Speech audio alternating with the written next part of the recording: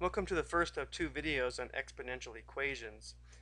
This video is going to focus on the type of exponential equation where you can write both sides of the equation with the same base. Therefore, these equations will not require logarithms, even though they could be solved using logarithms. That'll be covered in the next video.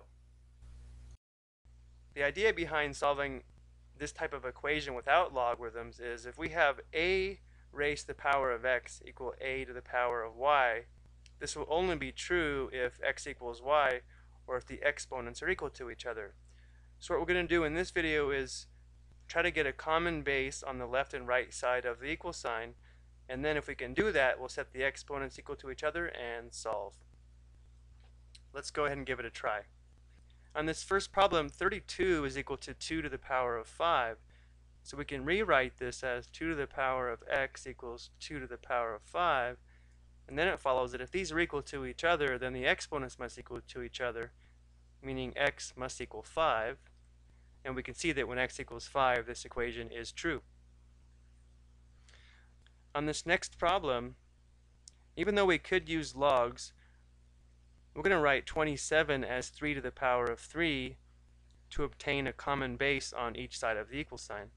So we would have 3 to the power of 2x equals 3 to the third, there's the 27 raised to the power of x plus 1. Now the rules of exponent states if we have a power raised to a power, we're supposed to multiply. So now we can rewrite this as 3 to the power of 2x equals 3 to the power of 3x plus 3. Again, now that we have a common base of 3, the exponents must equal each other.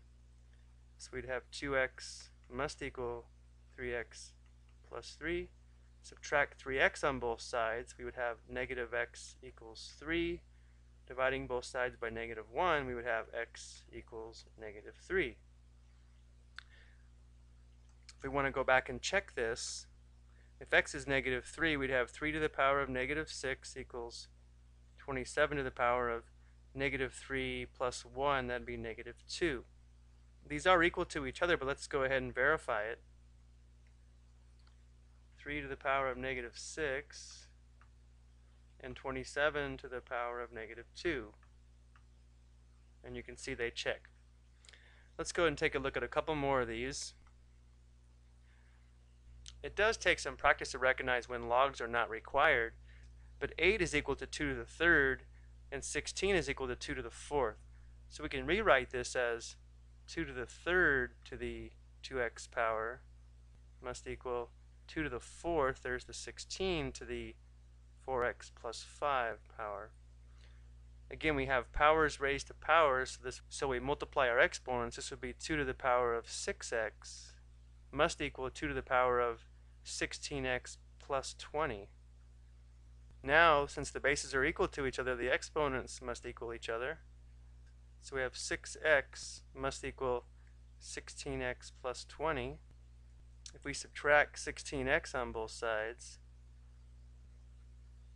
we would have negative 10x equals 20 dividing by negative 10 we have x equals negative 2 so we'd have 8 to the power of negative 4 equal to 16 to the power of that'd be negative 8 plus 5 that'd be the negative third power.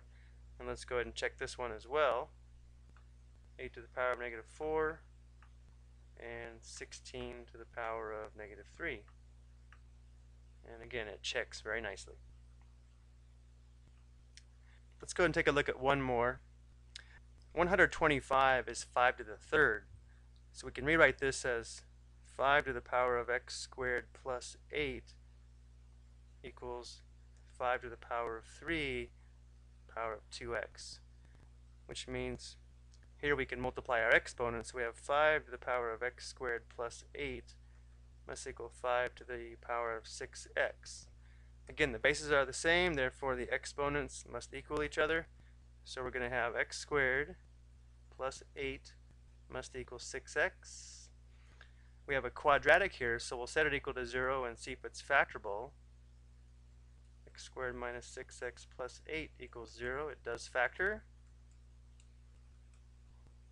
factors of 8 that add to negative 6, minus 4 and minus 2. looks like we may have two solutions. We have x equals 4 and x equals 2. So when x is 4, we're going to have 4 squared plus 8, that's 16 plus 8, 5 to the 24th must equal 125 to the 8th power. There's one check. And then when x is 2, we're going to have 2 squared plus 8, that's 5 to the 12th, equals 125 to the 4th. Let's check both of these. 5 to the power 24 and 125 to the 8th. Looks good. And the next one, these are just half of what we have over here. So it's going to check, but let's go ahead and verify it.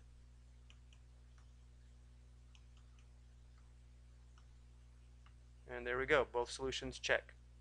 So in this case, we have two solutions, x equals 4 and x equals 2.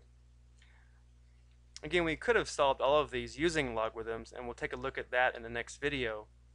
But this is a nice technique to use if you recognize that you can write the left and right side of the equation with a common base. Thank you for watching.